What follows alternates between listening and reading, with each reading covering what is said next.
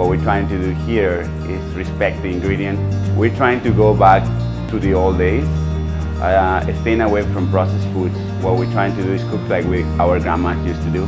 What Alitas is trying to do is just uh, not receive no processed foods. We stay away from processed foods. There's no cans in this kitchen. On top of this uh, restaurant being 95% organic, it's also a gluten-free environment.